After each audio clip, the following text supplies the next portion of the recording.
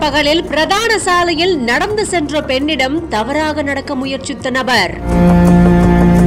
காப்பாத்துங்க காப்பாத்துங்க என்று கூச்சலிட்ட பெண்ணின் அலறல் சத்தத்தால் ஓடி வந்த பொதுமக்கள்.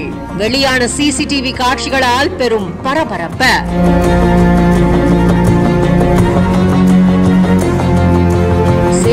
மாநகரம் வீராணம் காவல் நிலையத்துக்கு உட்பட்ட மன்னார்பாளையம் சத்யாநகர் பகுதியில சாலையில ஒரு பெண் ஒருத்தங்க நடந்து போயிருந்திருக்காங்க.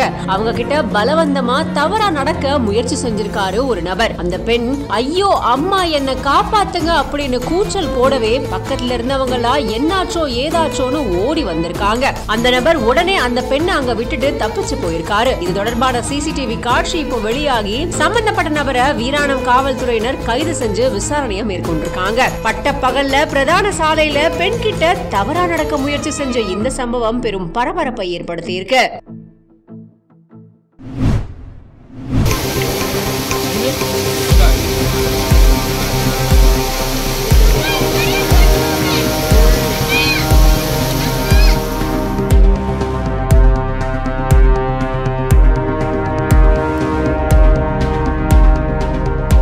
குற்றாலத்துல காணாம போன திருமண மோதிரம் மீண்டும் பெண்ணுக்கு கிடைச்ச அதிசய நிகழ்வு. மோதிரம் கிடைச்சதனுடைய பின்னணி என்ன? ஆச்சரியப்பட வைக்கக்கூடிய அதிசய சம்பவம். தென்காசி மாவட்டம் குற்றாலம் அருவிகள்ல இப்போ சீசன் காலம் தொடங்கி இருக்கிறதால சுற்றுலா பயணிகளினுடைய வருகை அதிகரிச்சிருக்கு. இந்த நிலையில தான் குற்றாலத்துல இருக்கக்கூடிய புலி அருவியில குடும்பத்தோட ஒரு பெண் குளிக்க வந்திருக்காங்க. அப்போ அவங்க கையில அணிஞ்சிருந்த திருமண மோதிரத்தை குளிக்கும் போது தவற விட்டதா சொல்லப்பட்டிருக்கு. இதை தொடர்ந்து என்ன செய்யறதுன்னு தெரியாம தவிச்சிட்டு வந்தவங்க குற்றாலம் பேரூராட்சி கிட்ட முறையிட்டதா கூறப்படுது. இப்படி பெண் ஒருத்தங்க தன்னுடைய மோதிரத்தை கண்டுபிடிச்சு தர சொல்லி முறையிட்டதை தொடர்ந்து குற்றாலம் பேரூராட்சி தலைவர் கணேஷ் தாமோதரன் உடனடியா பேரூராட்சி பணியாளர்களை அங்க அனுப்பி வச்சு மோதிரத்தை தேட சொல்லி சொல்லியிருந்திருக்காரு. அதன்படி பணியாளர்களும் அங்க போயிட்டு தடாகத்துல இறங்கி அரை மணி நேரத்துல மோதிரத்தை தேடி கண்டுபிடிச்சிருந்திருக்காங்க.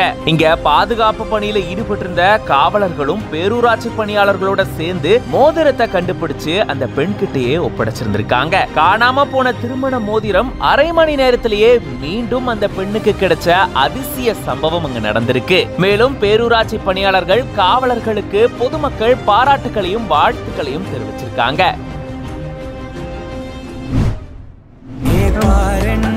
தேருக்குள்